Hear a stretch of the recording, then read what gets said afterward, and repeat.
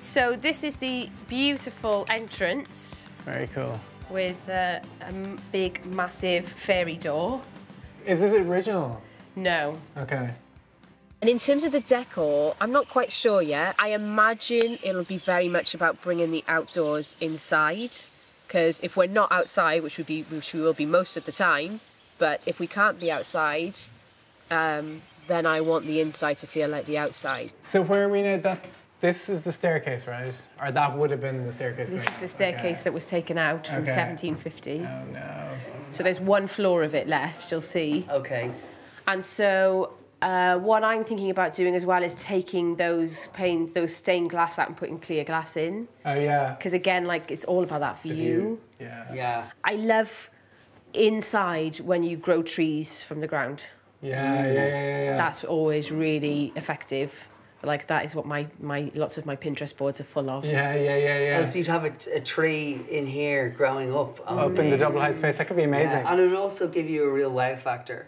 It's going to be a really nice feature of the house when it actually becomes this uh, wellness retreat because you really feel you are out in nature. I think nature is a huge source of inspiration, I think, in design always, I think. But um, here, particularly, I think I love that idea that the, they could all feed into inspiring different elements of the interior. Is that? I guess not everyone would want a tree growing indoors, but I'm all about bringing the outside in. So, on the ground floor, here's my new staircase with a tree growing up the middle. Then I'm planning a couple of therapy rooms. There's the boot room, and we're about to start work on a commercial kitchen as it doesn't need planning permission. And here's the dining room.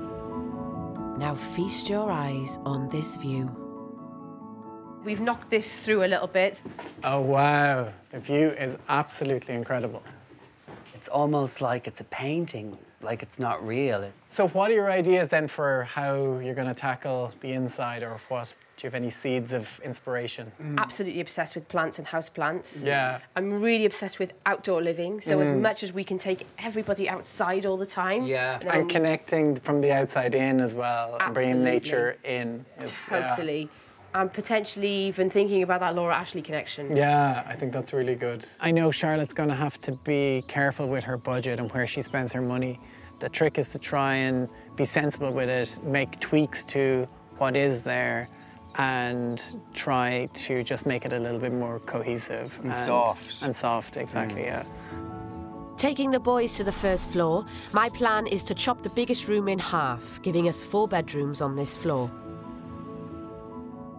Because it isn't a hotel and it's a healing retreat centre, part of the healing process is that it's communal, Yeah. that there will be no single occupancy rooms, Okay. that they'll all be twin or triple. What do you think about that? Some people wouldn't feel comfortable having to share a room with a stranger. Other Yeah. people would. Depends, really. I would do zip and link beds so you can bring them together or separate them. Okay. And I suppose you could always say it's extra if you want to be by yourself. Yeah. Sort of Yeah. vibe. Exactly. It could be like a, a room rate. Yeah. Will there be ensuite bathrooms or are they shared bathrooms? What I was hoping is have one bathroom in here Yeah. that these two rooms shared. I guess you kind of think about it as a business venture as well. You will get more money for this if it's got its own bathroom. Anywhere you can, I would do an ensuite. I think it'll benefit you in the long run financially, I think. Apparently, I'm the only one who believes in the idea of communal bathrooms. Back at Rhydoldog, in the extension that the previous owner put on, change is afoot.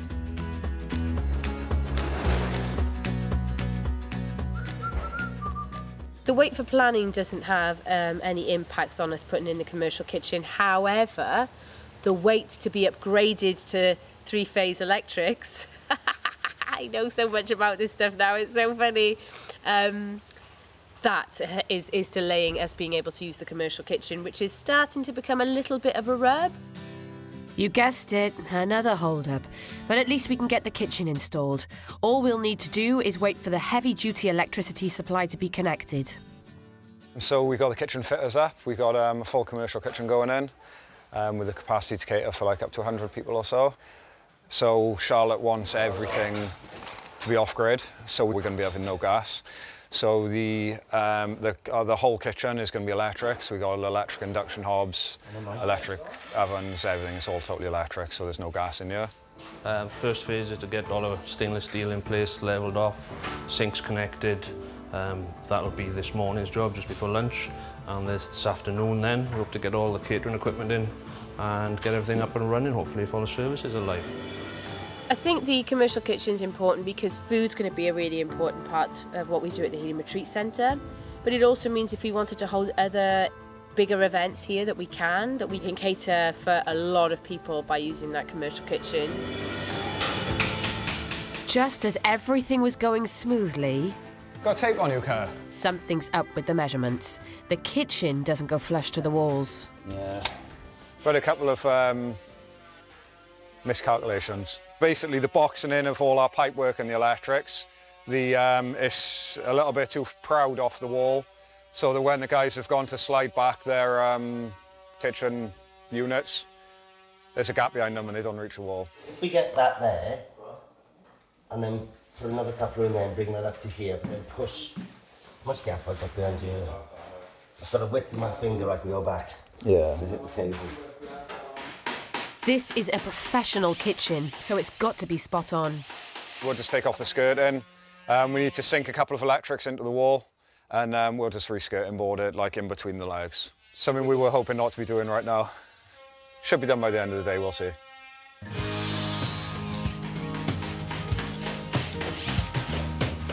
Getting the kitchen done is a nice big job out the way. We've still obviously got like a heck of a lot amount of work to do. We're still a little amount of time, but it's something that we can get done without having like all the building control drawings and all the planning and so yeah it's good it feels like it's a nice big step forward Having been so busy, I'm only just getting to see our very silver new kitchen. I'm really happy with it. I cannot believe they did it in a day. Johnny is going to absolutely love doing Christmas dinner in here. This is like a proper chef's kitchen. So, I mean, it's not very pretty. It's not like a pretty house kitchen. Um, but, I mean, it's an absolute beast. It's also another step forward in terms of renovation. It gets Rhydoldog that tiny bit closer to opening its doors. It just means that we can be far more flexible in, in what we can offer here, but also that the food we cook here can be to a really high standard by having such an amazing kitchen like that.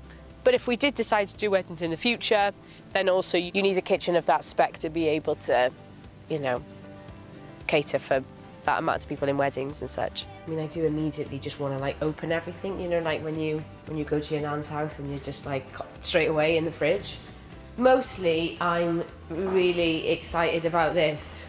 I mean, and I don't cook, but look at that! So fabulous. And I'm not sure if you can cook at different temperatures, but you can basically cook different things on here. So you could cook like a whole breakfast, like a whole um, English breakfast or a whole um, roast dinner on different things.